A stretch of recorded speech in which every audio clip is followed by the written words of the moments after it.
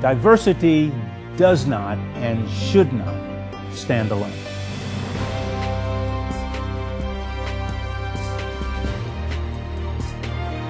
A coordinated effort to move us into the year 2035 and beyond will require an appropriate dosage of equal opportunity, equal employment opportunity, diversity, inclusion, and the core cultural competencies of our armed forces.